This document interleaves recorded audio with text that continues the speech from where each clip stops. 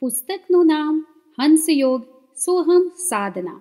લેખક પંડિત શ્રીરામ શર્મા આચાર્ય. સ્થૂળ અને સૂક્ષ્મ શરીર માટે અધિક માત્રામાં પ્રાણ સંચયની પ્રક્રિયાને વ્યાયામ પ્રાણાયામ કહેવાય છે.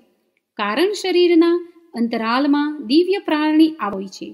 તેને મહાપ્રાણ તેમજ બ્રહ્મપ્રાણ પણ કહેવાય છે.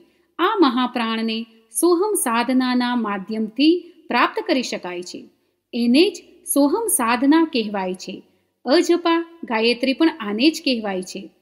ઉચ્ચ સ્તરીય પ્રાણાયામમાં સોહમ સાધનાને સાધનાને સર્વોપરી મનાય છે.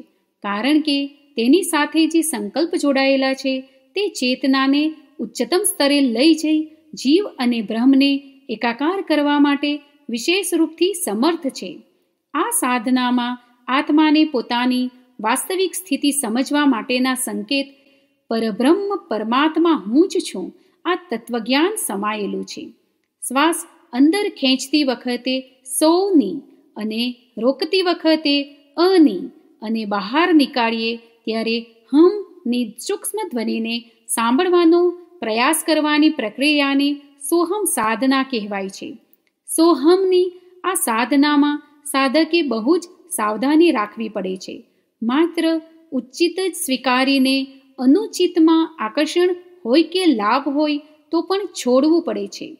આ પુસ્તકમાં લેખકે સોહમ સાધના કેવી રીતે કરી શકાય તેમજ કઈ કઈ સાવધાની રાખીને સાધનાનો પૂરેપૂરો લાભ લઈ શકાય તેની દિવ્ય પ્રેરણાઓ પ્રદાન કરી છે.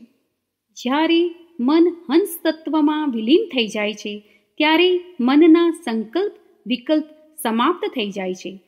અને જ્યોતિ સ્વરૂપ બ્રહ્મનો પ્રકાશ પ્રકાશિત થઈ જાય છે. આપણી આત્માને પરમાત્મામાં વિલીન કરી દેવાની આ દિવ્ય સાધના છે. મહત્વના મુદ્દા. સોહમ સાધનાનું તત્વજ્ઞાન. આત્મબોધનું પ્રથમ સોપાન સોહમ સાધના. પ્રાણયોગનો ઉચ્ચ સ્તરી પ્રયોગ સોહમ સાધના. સોહમ સાધનાથી પ્રાણ તત્વનું પરીક્ષણ. સંત કબીરની સોહમ સાધના. બિંદુ યોગ.